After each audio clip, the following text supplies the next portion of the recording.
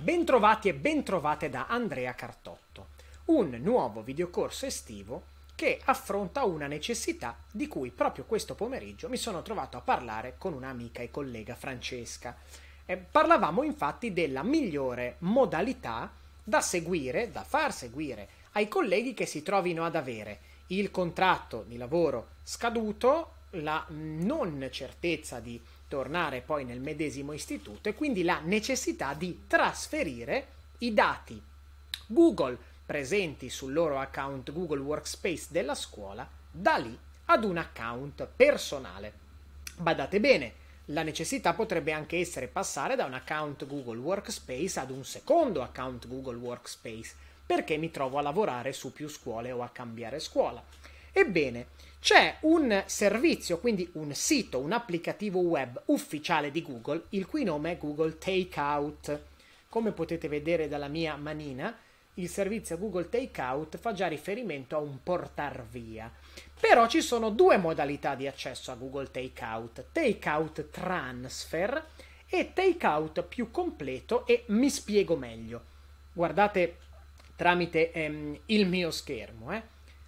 Google Takeout generico, potete banalmente fare una ricerca per parole chiave tramite motore di ricerca Google, avendo cura di aver effettuato l'accesso con l'account Google Workspace e lo vedete in alto a destra.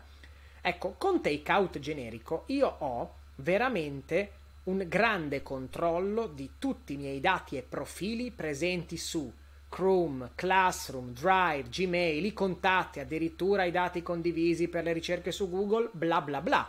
Il che da un lato, mi permetto, ci deve anche rendere responsabili nel capire quante informazioni andiamo a cedere a Google nell'utilizzo normale dei servizi che ci sono necessari.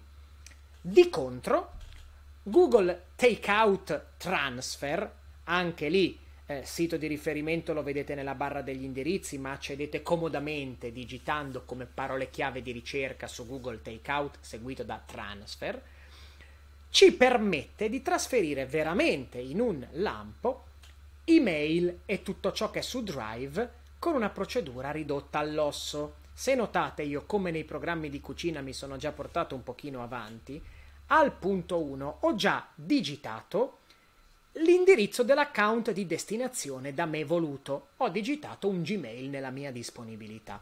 Sempre come nei programmi di cucina, io ho aperto la casella di posta elettronica dell'account di destinazione. Vi faccio vedere che c'è la mail automatica con scritto Google verifica dell'account che se clicco su ricevi codice di conferma pulsante blu mi viene generato un codice di conferma io lo debbo selezionare, poi clicco con il tasto destro del mouse e con il tasto sinistro vado su copia, volendo posso anche cliccare continua qui, come vedete. Ora mi dice inserisci il codice, clic tasto destro, poi clic tasto sinistro su incolla, clicco su verifica e come per magia io andrò ad osservare account di provenienza, account di destinazione, due interruttori già accesi che sono Drive e Gmail.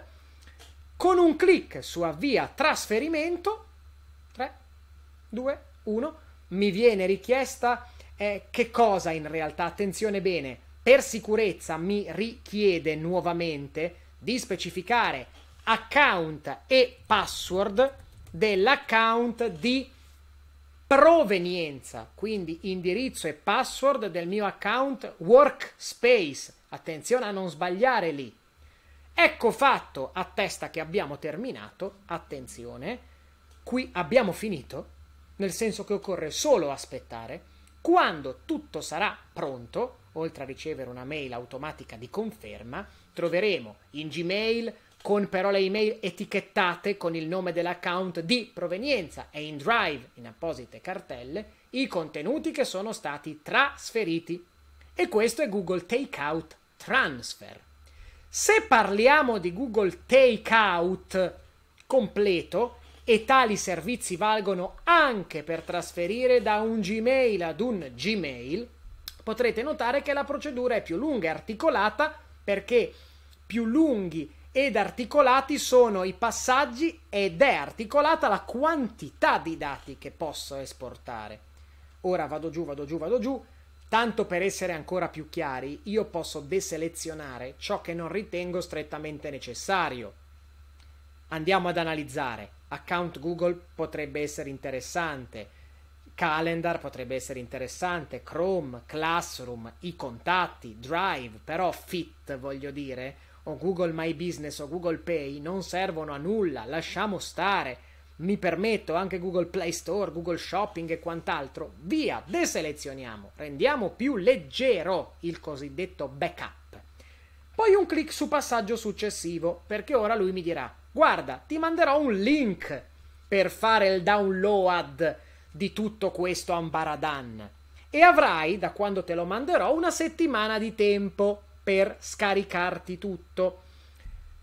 Esporterò un archivio, vedete il pallino, sarà un archivio in formato compresso zip perché deve stipare tante cartelline, ogni cartellina appartiene a un certo servizio. Poi ci dice anche, bene, eh, devo suddividere, nel gergo si dice splittare questi pacchetti che sto esportando con una certa quantità massima di gigabyte e allora noi gli diciamo guarda 50 gigabyte. Nel senso che le esportazioni di dimensioni superiori a 50 gigabyte verranno suddivise in diversi file. Se invece io sto entro quella quantità allora posso magari avere un solo pacchetto zip. Attenzione Google Workspace dà spazio di archiviazione illimitato, ma vi ricordo che Gmail, account personale, offre 15 GB di spazio per l'archiviazione condivisa tra tutti i servizi Google. Quindi 15 GB di un account personale Gmail erodono da Gmail Posta, Drive e quant'altro. Nel caso si tratti di molti dati, allora poi occorre passare, ma francamente il costo di un caffè mensile, poco più, può valere la pena passare mediante l'apposita funzione Google ad un piano per esempio da 100 giga a disposizione, voglio dire scelte personalissime. Ecco, io ora clicco crea esportazione per mostrarvi che poi da qui in avanti c'è tutto un processo che si deve compiere e che può durare diverse ore. Ora io qui cliccherò annulla esportazione per motivi di praticità, ma commento brevemente.